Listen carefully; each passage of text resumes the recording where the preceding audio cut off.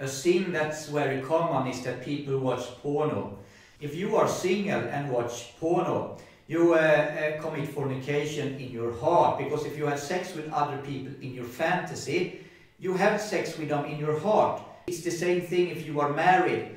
If you have a wife and watch other women with lust, you commit adultery in your heart.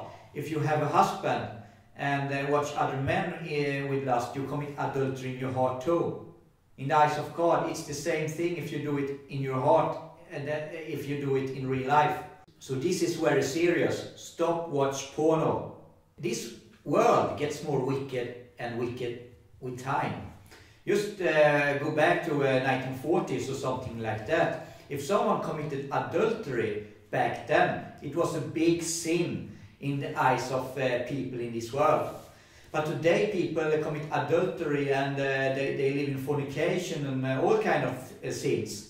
But, but, people don't care anymore because it's normal today.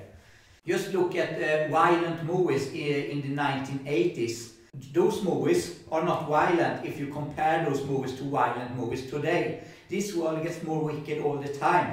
Uh, it's, it's the same with porno. Uh, just looking back in the 1980s, uh, porno movies back then was, was, uh, uh, was not like porno movies today.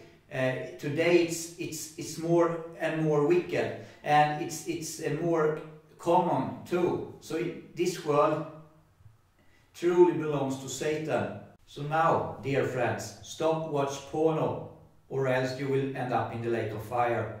Jesus bless you.